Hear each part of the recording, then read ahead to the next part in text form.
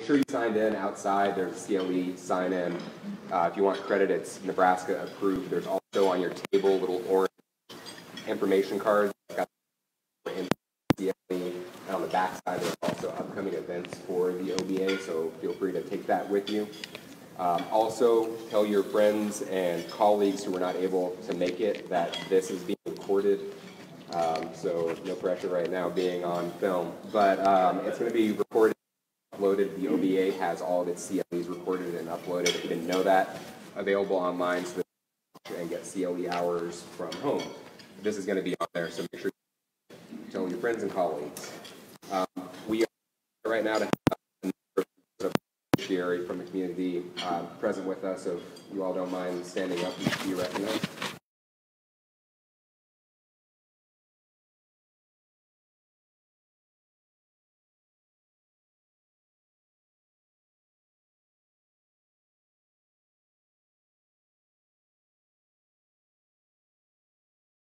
One of these lunches before, or anyone who had class with him knows Professor Fenner really needs no introduction. Uh, for everyone else who doesn't fall into one of those categories, um, I personally know I'm not capable of giving an introduction that tells of all the kindness that he's shown people throughout his years. Or am I able to give an introduction that really captures all the amazing things that he's been able to accomplish throughout his career? Uh, but to give you a, a, short summary, if you're not affiliated with him or you don't know him, uh, Professor Fenner is a longtime fixture at Creighton University, the School of Law. I know I've run into people out of state. I went to Creighton. I'm a Creighton here. Did you have Fenner? Everyone says that. Everyone says Fenner. So he was truly a fixture here. Uh, he retired from regular teaching in 2019. I use the term regular teaching because in July of last year, the School of Law bestowed upon him the title of Professor Emeritus. Um, he's also the past president of the Nebraska State Bar Association and is currently of counsel at the firm of McGill, Gotsdiner, Workman, and Webb.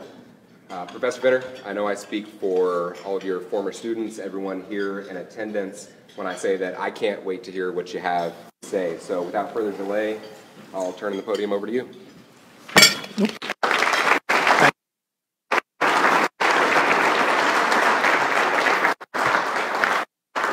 Let me follow up on something Cameron just said.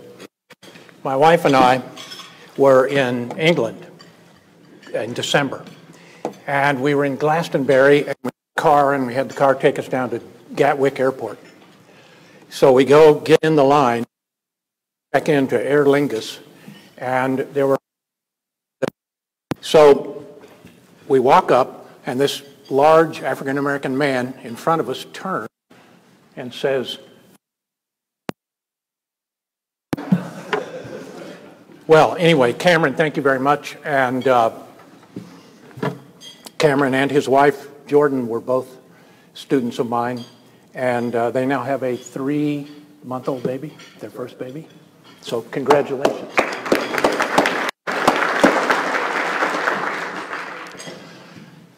Uh, this speaking series is celebrating its 30th anniversary. Where?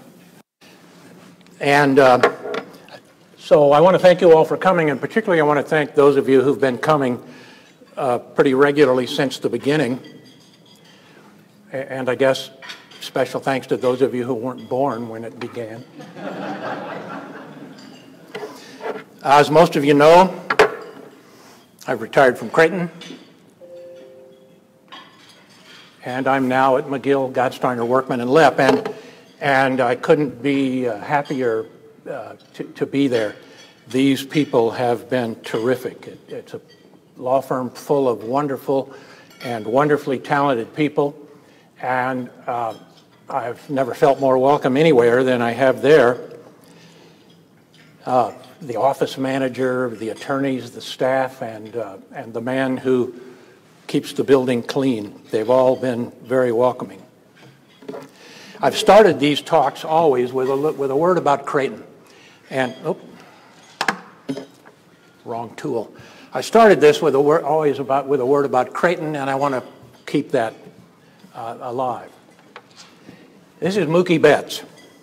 And Mookie Betts is a, um, is a generational baseball player. He's, he's the MVP these days, and uh, he's a superstar. And he has a one year contract uh, with the uh, Los Angeles Dodgers for $27 million. And those of you who were here when Eric Pearson won the Outstanding Professor Award so often that they just gave up and named it after him. His son Scott is Mookie Betts' agent. So, I, yeah, I get chills just. $27 million. Well, anyway, this is the worst trade that the Red Sox have ever made, except for this trade 100 years ago when they traded Babe Ruth to the Yankees.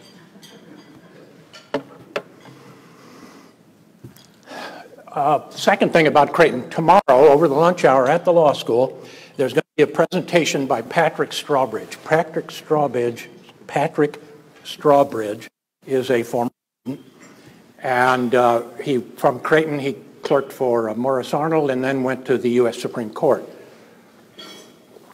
And he clerked for Clarence Thomas. Currently, he is Donald Trump's lawyer in the in the uh, subpoena cases in New York State, which caused our daughter to say, How could you teach somebody who's going to end up being like that?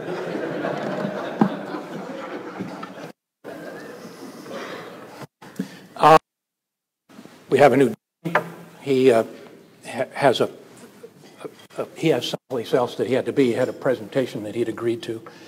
Uh, uh, but I'm not going to say anything about him. He, I talked about him last year. Uh, everybody says he's doing a great job, everybody I've talked to at the law school. Uh, but I want to mention his wife, Kendra. Kendra, uh, just out of law school, Bank Tweed in New York City. And Milbank, uh, she was a commercial litigator. Milbank is a real old-time silk stocking New York City law firm. It was founded in 1866. And to me, because the first Civil Rights Act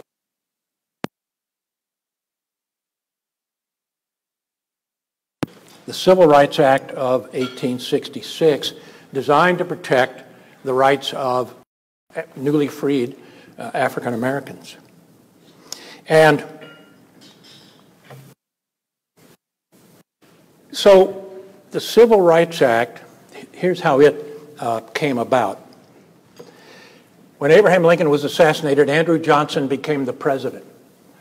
Congress overwhelmingly passed the Civil Rights Act and sent it to Andrew Johnson. Andrew Johnson vetoed it. Congress overrode the veto and it became law. And then the House of Representatives impeached Andrew Johnson over these policy difference on differences on how to handle reconstruction. Um, and, well, Congress of impeachment to the Senate, and the almost convicted Andrew Johnson. They fell one vote short of convicting Johnson. But uh, Kendra Fershee didn't have anything to do with that. She, uh, she left Milbank to become a law professor, which is a very wise thing to do. She left Milbank to become uh, a, a, law professor, and, and, and, um, and, she's a good one. She's an estates and, and trusts professor. Um, she uh, her students, every student of hers that I've talked to, says that she is uh, really a terrific teacher. She's the editor in chief of the American Bar Association's uh, Family Law Quarterly, and that's quite an honor that she brought to Creighton. Those of you who practice family law, you ought to uh, look her up and, and invite her down to the firm and get to know her. She's uh, a great addition. By the way, Milbank Tweed pays their first year lawyers, right out of law school, first year out of law school, $190,000. And the uh, equity partners make $3.85 million. So you're saying to yourself, wow, I bet Kendra's not making that at Creighton.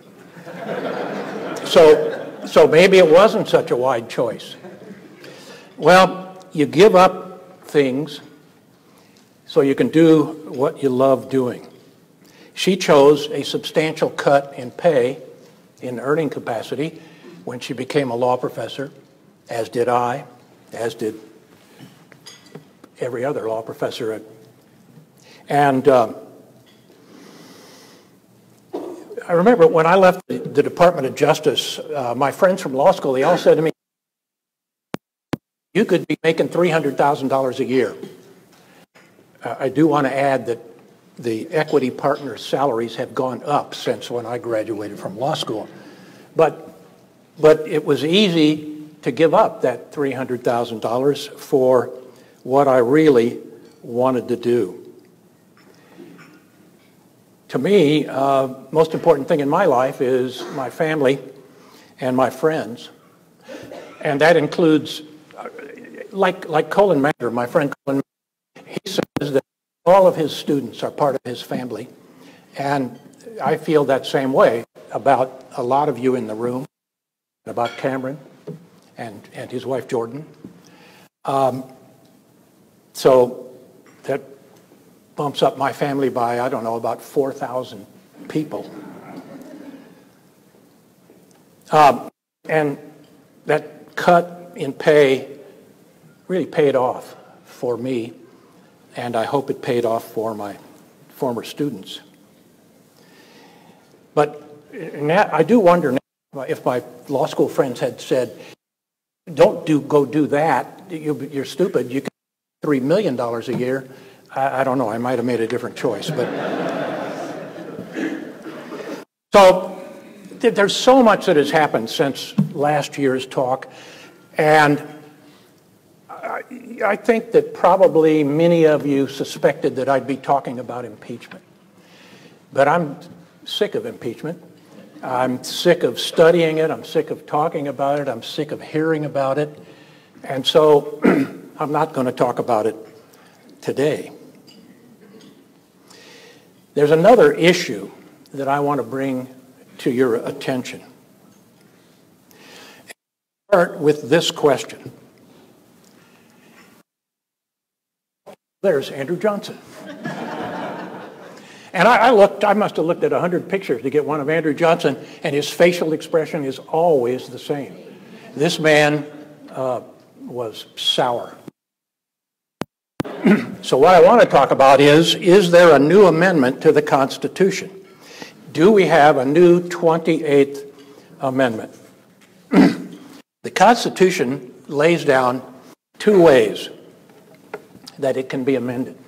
One is for two-thirds of the states to call for a constitutional convention.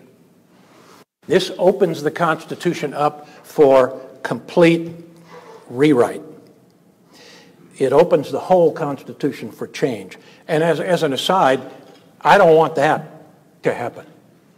And, you know, it's like, it's like exploratory surgery. We're going to cut him open and just see what we can see what we can take out, see what we can put in, see what needs to be done cosmetically. We can just change the whole darn thing. And I don't um, want this kind of constitutional amendment to come about because we'd end up with a constitution written by dark money, foreign influence, and we've got enough of that already, and the NRA. The second way you do it is targeted surgery. The second way you do it is two thirds, somebody drafts up the amendment, and then two thirds of each House of Congress propose the amendment, not the total redo, and uh, three fourths of the states ratify the amendment. This is targeted. I, I don't, it's like, it's like if we had an amendment that says if the president's secretary of state calls him a moron, and if five or more of his close advisors are convicted of felonies, and, and, and, and he retains Rudy Giuliani to do anything, that's, in, that's impeachment. This is the kind of amendment that I'm going to talk about. Um, and this is the amendment that I'm going to talk about. January, uh, let's see, the January 15th. Um, like, I don't know, last month, the, the 38th state, today, today it takes uh, three-fourths of the states to, to uh, ratify, and that's today, that's 38 states. Last month, the 38th state, Virginia, ratified the ERA. So uh, you'll even if you don't know that that happened even because there was lots of other breaking news in the last in the last little bit. So the first step in amending the Constitution, uh, the way uh, this happened is somebody drafted the amendment. It was a shock to me to learn that the Equal Rights Amendment was written in 1923, but it didn't really go anywhere. And it didn't, it, it, for a number of reasons, two expressed ones, and then I'll get to the unexpressed one, but a number of reasons. And one was that many of the many of the proponents of the ERA were interested in getting the right to vote for women. And the 19th Amendment, which granted women the right to vote, was, uh, was put into the Constitution almost simultaneously with this ERA being drafted. So that dampened the enthusiasm of a lot of uh, the supporters of the ERA. And another motivating factor for many of the supporters of the ERA was workplace fairness. It was a broader motivating purpose, equality across the board, but a lot of that was focused on uh, the workplace. And, and, and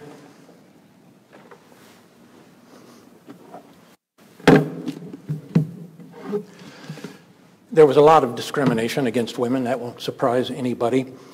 The, uh, there were state laws that barred women from jury service. There were state laws that forbade women from being the administrator of an estate if there was an equally qualified man to be the administrator of the estate. Women were barred from uh, many state universities. And married women, in many states there was a law against married women entering into a contract on their own. Married women, contract on their own. And that brings me to Myra Bradwell. The Illinois Supreme Court, Myra Bradwell did everything you need to do to be a lawyer, and so she went to the Illinois Supreme Court and said, uh, you know, give me my law license, and they refused. And here's the reason. The applicant, as a married woman, would not be bound by contracts with her clients because it was illegal in Illinois for a married woman to enter into a contract. So she did what we'd all do if we could afford it. She appealed to the United States Supreme Court, and they affirmed the Illinois court. And what, I want to talk about is these is there were three stooges who wrote a concurring opinion in this case saying married woman can't be a lawyer in Illinois. And I want to read a little of that.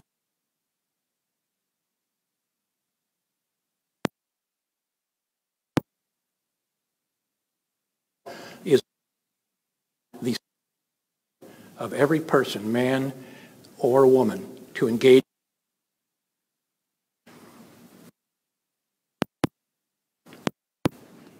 On the contrary, the civil law, as well as nature herself, has always recognized a wide difference in the respective spheres and destinies of man and woman. Man is or should be woman's protector and defender. The natural and proper timidity and delicacy of sex makes it unfit for many of the occupations of civil life. The Constitution, which is founded in the divine ordinance as well as in the nature of things, indicates the domestic sphere as uh, properly belonging to the domain and functions of womanhood.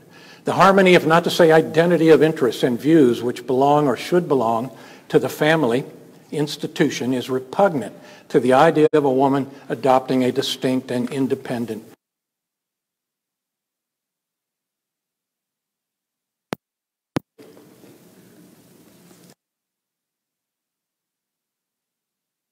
the duties, complications, and incapacities arising out of the married state.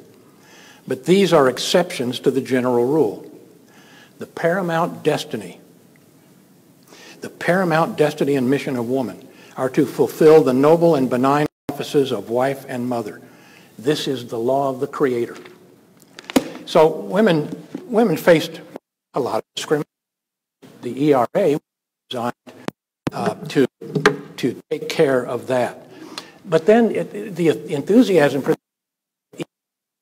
again. Um, wage and hour statutes, wage and hour protection constitution.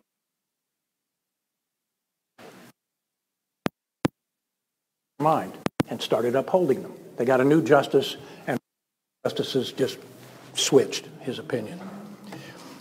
And so a, a lot of people thought, well, this uh, discrimination against women in the workplace, we, this, this switch on the court has taken care of that because all these laws are being upheld. Well, of course, as we know, it didn't really take care of it. Still a lot of discrimination against women, maybe particularly in the context of the workplace. It's lower wages, which persists today. So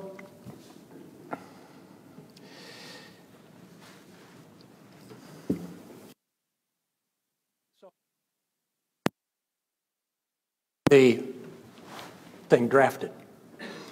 Step two, Congress uh, has to approve of the, of the proposed amendment. And they did that in 1972, 49 years after the ERA was drafted, Congress approved it. And they sent it to the states for ratification. Step two, two-thirds of both houses of Congress uh, have to approve, and that's what happened in 1972. So the ERA now has legs again, and it's in front of the states. So the Constitution requires, as I said today, 38 states have to ratify the amendment. And that was a kind of a slog people thought, uh, some people thought, uh, you know, this has been taken care of. Some people um, thought that if we pass this amendment, there'll be sex bathrooms. Um, there was a lot of, of fear of having to uh, share things uh, on an equal basis. Uh, and, and a lot of the unspoken resistance was from men and some women if you're old enough, you might remember Phyllis Schlafly. Um, they, there was a lot of fear among uh, many of uh, uh, men that they, they didn't want their wives outside of the home and out of their obligation to bear and care for their children. But, so it took a, a long time, but 20, just this year, uh, in, on January the 15th, 27 days ago, Virginia ratified the ERA, and they're the 38th state to ratify. So, amendment.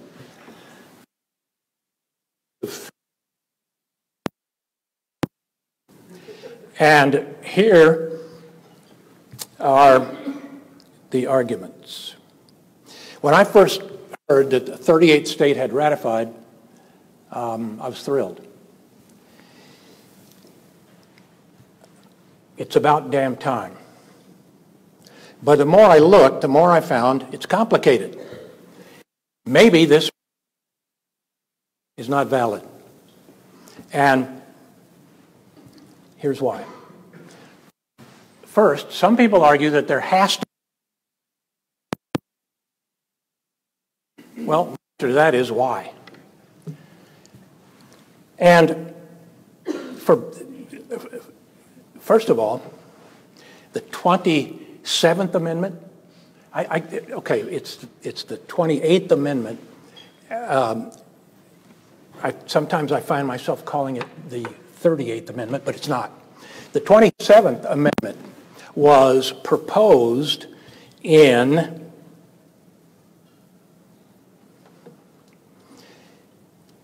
1789. And it was ratified in 1992, 203 years later. So there's precedent. Applied time limit on ratification. Second, this argument calls to my mind that there has to be a limit. Calls to my mind. So, so you know, now we're almost uh, we're almost 100 years since it was drafted. So the second, or this argument has to be a, an implied limit, um, calls to my mind something Justice Kennedy said in the same-sex marriage case, the Obergefell case. Uh, he was responding to the argument that marriage has always been the union, a union between a man and a woman. Same-sex marriage has never been protected by the Constitution. Same-sex marriage has been illegal in maybe every state, I don't recall. Uh, and in most jurisdictions, it was a crime.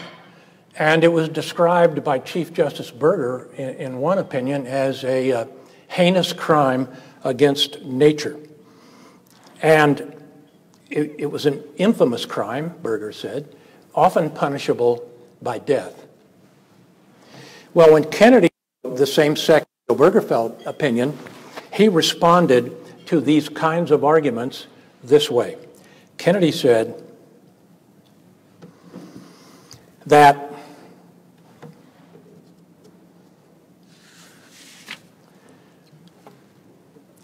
Kennedy said that new generations have new insights. And the new insight that he had in the Obergefell case was that things have changed and now same-sex marriage is acceptable and it's and he wrote it into the equal protection and due process clauses. Modern society has new insights. Well, my answer is that's what just happened in Virginia. It's a modern society that has new insights. And these new insights caused Virginia to ratify. And, and, and of course, the ratification came about because control of the Virginia and, and the legislature switched from Republican to Democrat. But still, the, the, those who elected those new, that new party, they had new. So the argument that there has to be a, uh, a time limit uh, doesn't make any sense to me. And I remind you, there's precedent. The previous amendment uh, it was 203 years before its ratification was complete. And then um, add to this uh, Dillon versus Gloss. Some argue that Dillon versus Gloss says that there is an implied time limit. It's implied Constitution. And does say that, but it's dicta. It's not precedent that must be followed. It's dicta. And the, the Dillon case was about this. In the 18th Amendment, Congress wrote in, right in the text of the amendment, seven-year time limit on ratification. The time limit was challenged as unconstitutional, and the court said no. When Congress writes into the amendment a time limit, that's constitutional. The rest of the, the stuff about the implied time limit was just verbiage, not essential to the holding. So, when the time limit is in the amendment, it has been approved by two thirds of the members of each House, and it has been approved by three quarters of the states.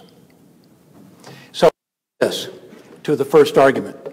When Congress passed included preamble, not the text, but a preamble, and the preamble said seven year time limit on ratification of the ERA. The preamble is not law. The preamble to an amendment does not alter the amendment itself, just as the preamble to the Constitution is not law. It's, it doesn't impose and it doesn't uh, new. It's just an introduction to the amendment, and it's just a suggestion from Congress. It is what we think ought to happen, but it's not in the text of the amendment. And so there's a third argument. First argument, there has to be a time limit. Second, uh, Dillon says there's a time limit, and and and um, but it's not in the. And third, the, as, as, the, as the 1972 suggested time limit approached, Congress passed another joint it was sent to President Carter and he signed it. So now it's a statute. And that statute extended the suggested deadline to 1982. So now we've, okay, 19 line. Ratifications after 1982 don't count. And my response to that is that proposing an amendment requires two thirds of the members of each House. And when Congress passed this statute with Jimmy Carter's signature, it didn't have that two thirds and three fourths. You, you, can't, you can't amend an amendment with a statute. At least that's my position. You can't amend an amendment with a statute. You have to, um, if you're going to amend an amendment, you got to go through the amendment process two thirds and three fourths. Uh, this is a map that kind of gives you some idea of um, the the uh, the gray is states that didn't ratify. The um, this is states that did ratify, and coming up, this is states that rescinded their ratification. So it's complicated.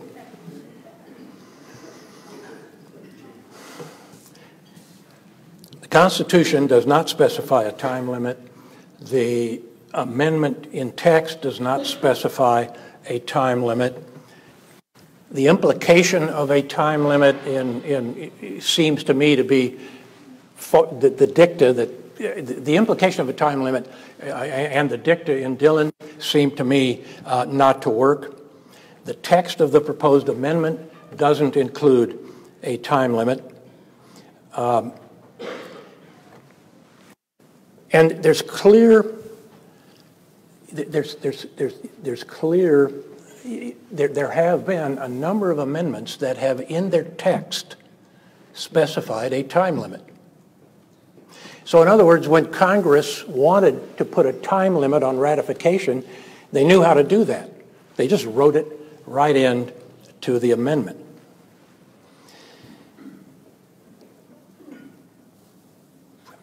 The 18th, 20th, 21st, and 22nd Amendments all had time limits. And the 27th says no time limit, 203 years later. Well, there are three rules of construction. In constructing the text of a statute or construing of a statute or in construing a constitutional a provision in the Constitution, there are three, there are a number of rules, and I'm going to mention three of them, that are supposed to help you in your interpretation. One is the whole. You don't just pick a little piece of it and base construction on a piece. Text as a whole. Now, in this case, the text as a whole that we're talking about is all of the amendments. A material variation in terms in a statute, the whole of the statute, or in the whole of the amendments in this case, a material variation in terms suggests that there's a variation in meaning. Now, to me, there is a material variation here. Some of the amendments specify a time limit and others don't. So the, the, the, the uh, material variation, the material variation between these amendments um,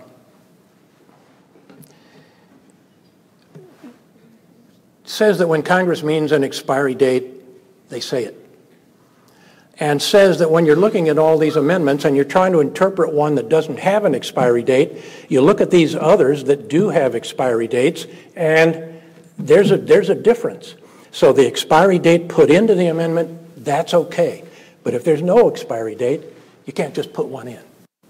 When, in other words, Congress wanted a proposed amendment to expire after a certain number of years, they know how to do it. Past practice shows they know how to do it. They write it into the amendment. And the third rule of construction is this. We can't find that Congress was unaware of the difference. In other words, turn that around. We, we have to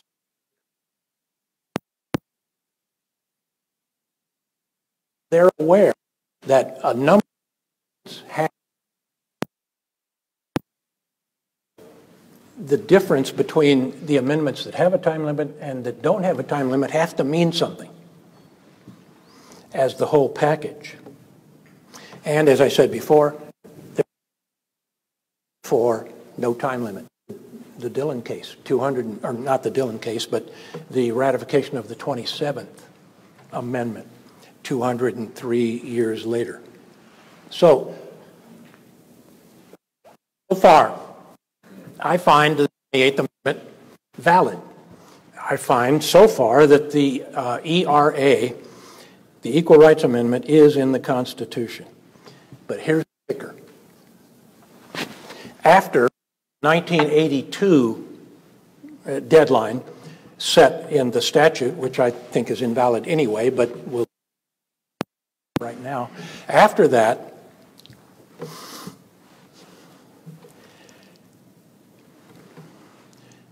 three more states ratified, and five states rescinded their ratifications, including Nebraska. So Oh, and there are three states that have, have a lawsuit. They've filed a lawsuit uh, trying to stop the, uh, the ratification from being certified. So now the question is whether states have the power to rescind a ratification. Assuming that the ratification by Virginia is valid and that the rescission of ratifications is not valid, then we don't have an, uh, is not valid, then we have an amendment. Assuming that the ratification by Virginia and the, and the other two states is valid, and the, ratific- and the rescission of the ratification is valid, then we don't have an ERA. So, do the states have the power to rescind?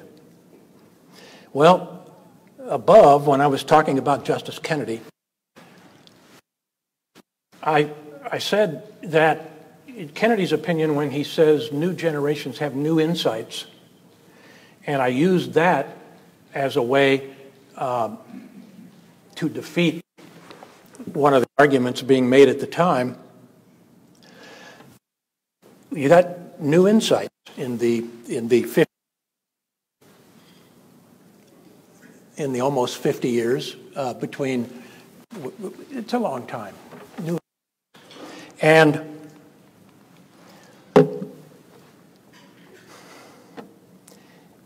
so do we have an ERA well it seems to me that if if the if these rescissions including Virginia's are legitimate based on sort of these this new they have new insights, then you have to say the states that ended their ratification they had new insights as well. They just went. So we don't have an ERA. Well, sadly, I, I, I think we don't have an ERA. Um, but does it whether we have an ERA or not? Well, yes, it does matter. It's time we put women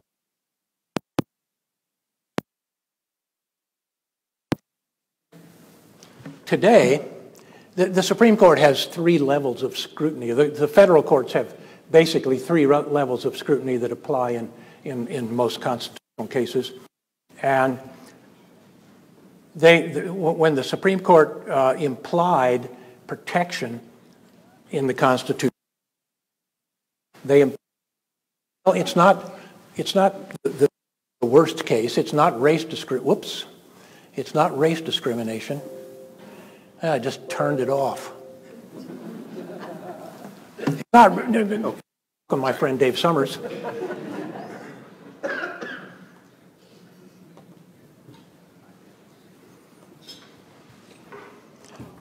So they put, they, they, they, put sex discrimination against intermediate scrutiny. This is judicial scrutiny that any constitutional case could get, and this is a little bit. Does it matter? Yes, we need to put women in the Constitution. Second, if we put them in the Constitution, it them up to strict scrutiny.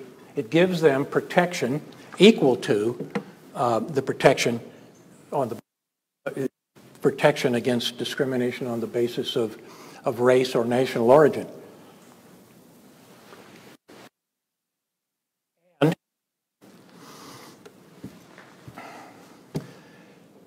it, it put it in the Constitution because this one court has implied it as a right. Well, another court can come along and imply it out of the Constitution, disimply it, if that's a word, unimply it, if that's a word. And you say, well, that it'll never happen here. They're always going to get women are always going to get this intermediate scrutiny, and it strikes down all this discrimination against women. Uh, we don't need uh, strict scrutiny. And it was implied into the Constitution by one court, it can be implied out by another. But you say, yeah, that will never happen. Well, what democracy read Jews out of the Constitution and then started killing them? You say, but that won't happen here. Well, what country took boatloads of Jews trying to escape the Holocaust and turned them away from, wouldn't let them land? Um, notoriously in 1939, the German ocean liner, the St. Louis, and its 937 passengers were turned away from the port of Miami and forced to go back to Germany, and three-fourths, three-fourths, uh, one quarter of those passengers were, were killed, were gassed. And remember, over the long haul, new insights can put something into the Constitution, and then later, new insights can get it back out of the Constitution. Take, for example, abortion. Take, for example, the same sex relationship cases out of the Supreme Court. Take, for example, uh, Citizens United, which said that corporations and unions have the full rights of persons and therefore the ability to spend as much money as they want on elections. And finally, we just should do it. We just should put women in the Constitution.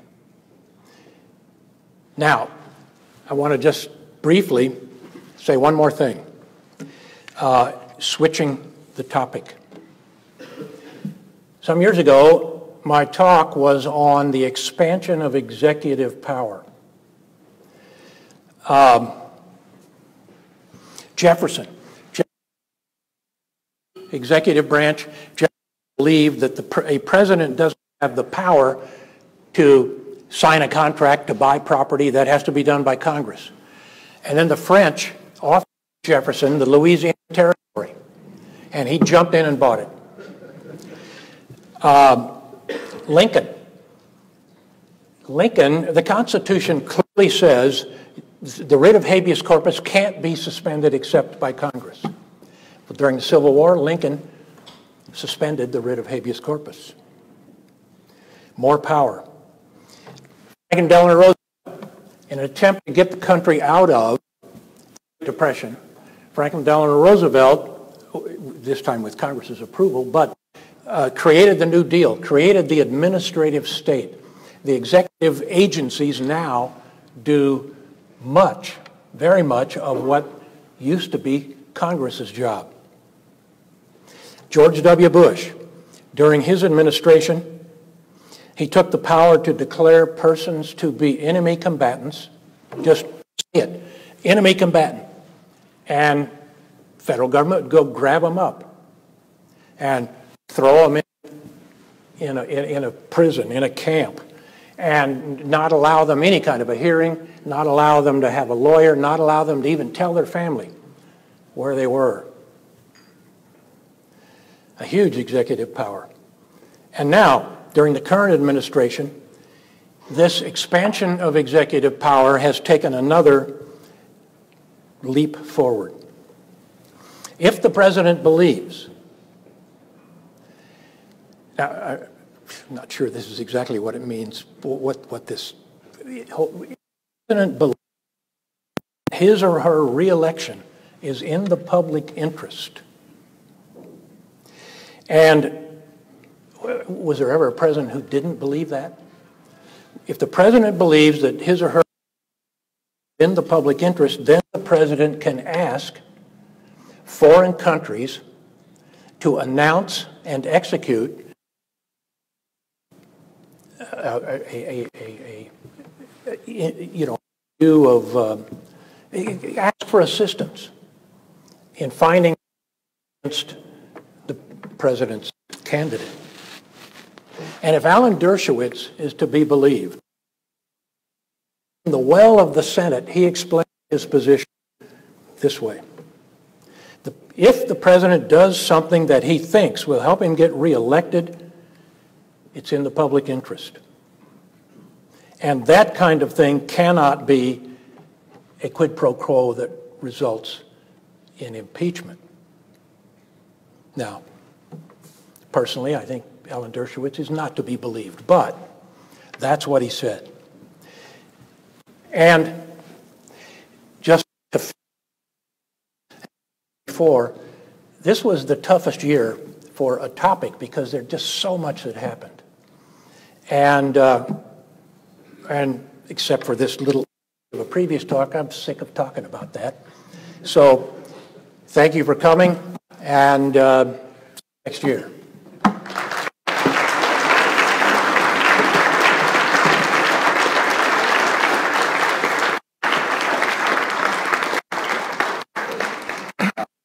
Professor Fenner, on behalf of the OBA and everyone here in attendance, uh, I'd like to present this as a small thank you, and I'll play spoiler. It is not the $3 million you could have gotten in New York.